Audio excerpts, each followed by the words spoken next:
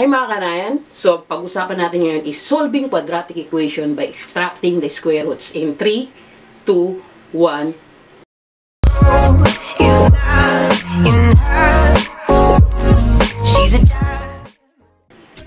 Kung bago ka sa channel ko, no, don't forget to hit the like and subscribe button para naman updated ka sa mga videos ko.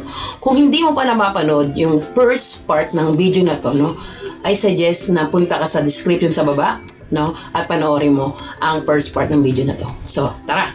So, our topic for today is all about extracting the square root, no? Solving quadratic equation by extracting the square root. So, magre-review muna tayo. So, yung nakaraan nating pinag-aralan, no? This, the square root is the standard form of quadratic equation is ax squared plus bx plus c equals sa 0. So, andi dyan yung standard form natin, no? Ngayon, after you familiarize with that, no, we are ready to find the solution. The solution says, or the roots nga ng quadratic equation. Okay, in extracting the square root, no, hahanapin natin yung roots o solution set sa quadratic equation na to, no? So, in solving quadratic equation by extracting the square root, is form, this method ay kailangan lang kapag x squared equals k. Kapag hindi siya ganun, no, ay hindi mo ma-extract ang kanyang square root. Hindi mo ma-solve ang quadratic equation using extracting the square root. Kailangan x squared equals k o di kaya pwede mo siyang magawang x squared equals k. No? So, ang sabi rito, no, pag extract mo to, x equals the positive and negative square root of k. So, magkakaroon ka dito ng dalawang solutions, no? So, x equals positive square root of k or x equals negative square root of k. Para malaman natin yan, no? Tayo magbibigay ng example.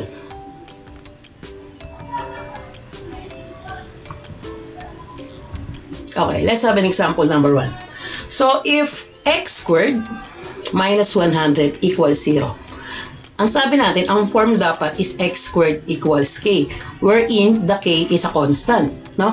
Kung makikita natin dito, x squared minus 100 equals 0. So, ang gagawin natin sa 100 para mapunta sa right side? No? So, magpa-plus tayo ng 100 sa left side. Dahil nag-plus ka ng 100 sa left side, syempre magpa-plus ka rin sa right side mo. So, para maging 0 na yon nasa kaliwa, oh, kaliwa natin, no? And then, equals 100. So, ang mangyayari dyan, x squared equals 100. Ngayon, i-square root natin siya. Pag i-square root natin siya, no? Sabi dito, positive and negative square root of 100. Ano muna yung square root ng 100 is 10. So, ibig sabihin, magkakaroon tayo dito ng dalawang solutions, no?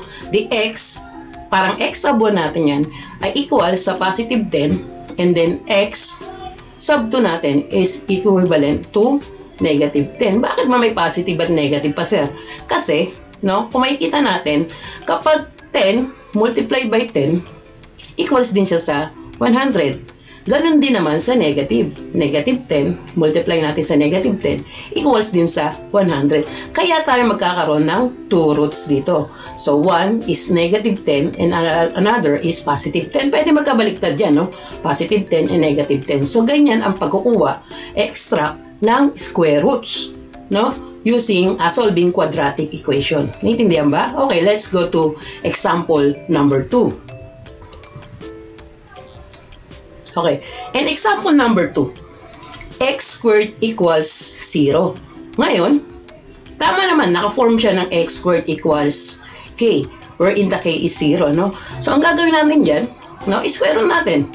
Pag i-square root natin yan, positive, negative, square root of 0. Pero, no, wala namang positive and negative 0. 0 lang siya. So, meaning, the solution set for this equation is just 1, no? 0 lang. So, yan yung ating example number 2. So, ang sagot dito is 0 kasi walang negative, walang positive na 0. So, ngayon, punta naman tayo sa example number 3. So, in example number 3, no, ano nakalagay dito?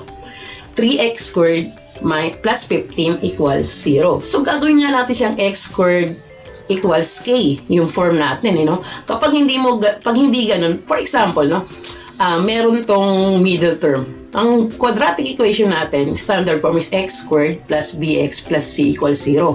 So, kapag may middle term siya, no, yung kanyang variable ay may yung x lang, degree lang. O ang degree niya lang is 1. No? So, hindi mo siya ma-square root ng ito. Kaya, ginagamit lang yung method na to kapag x squared equals k. So, ito, yung example number 3 na to, pwede natin gawing x squared equals k lang yan. So, una, yung 3x squared plus 15 equals 0, ang gagawin natin, yung number, yung constant, no, lalagay natin sa kanan. No, pag nilagay natin sa kanan, no, meron tayong constant sa plus 15 sa kaliwa. So, ang gagawin natin dyan, magma-minus tayo ng 15 sa kaliwa. Eh, kung nag-minus ka sa 15 sa kaliwa, magma-minus ka rin ng 15 sa kanan.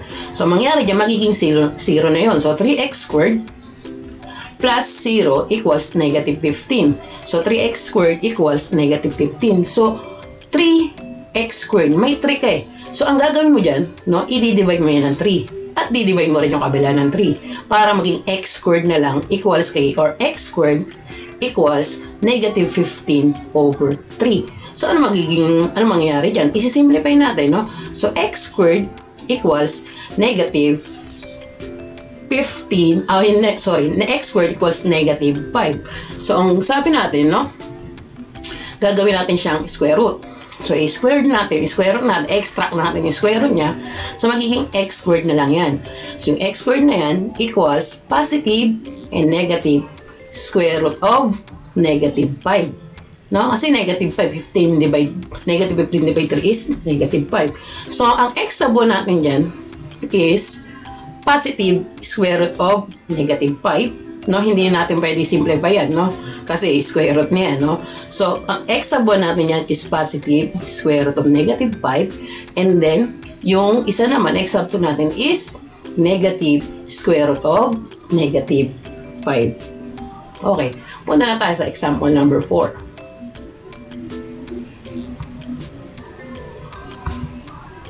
Okay. In example number 4, no? ang nakalagay dito is solve for x if 2x squared minus 6 equals to 0. So, ganun din gagawin natin na, ganun din gagawin natin, no? So, negative 6, nakikita natin dyan. So, magpa-plus 6 tayo. Pag nag-plus 6 tayo dyan, no? Sa kanan din magpa-plus 6 tayo. Kasi, ba't nagpa-plus 6? Para mawala, para maging 0 yung nasa kaliwa natin. So, ang mangyayari dyan, no? 2x squared equals 6. So, i-divide natin ng 2, yung 2x squared, yung kabila rin, di-divide din natin. Ang mangyari dyan is x squared equals 3. So, ang gagawin natin, square root ulit. Yan na, yung x squared equals 3, ano na yan? Yan yung form na hinahanap natin, which is x squared equals k. So, ang gagawin natin dyan, extract the square root, positive and negative. Magiging dalawa yung x natin dyan, no? And then, yung isa is x sub 1 equals positive square root of 3 and then the x sub 1, x sub 2 is posi- uh, negative square root of 3. Punta naman tayo sa number 5. So let's have example number 5. So in our example number 5, so x minus 5 squared equals 16. No? So, ang gagawin natin dito, dahil may square root na siya, no? hindi mo pwede nating i-mag plus 5 kagad dito. No?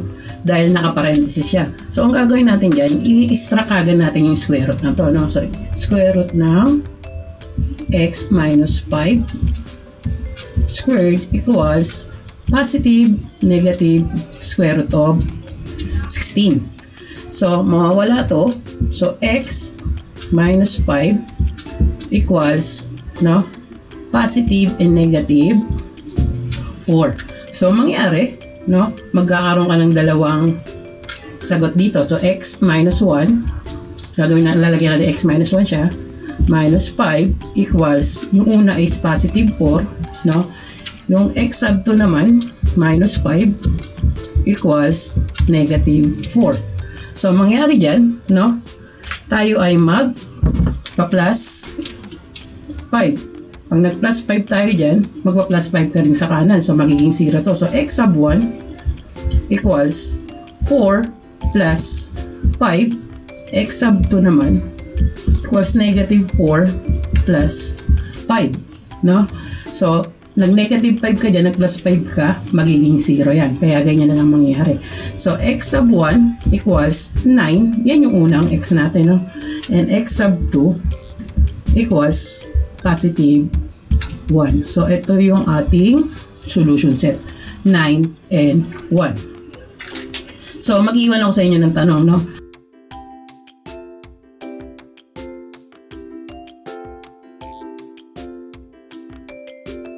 So, try this, no?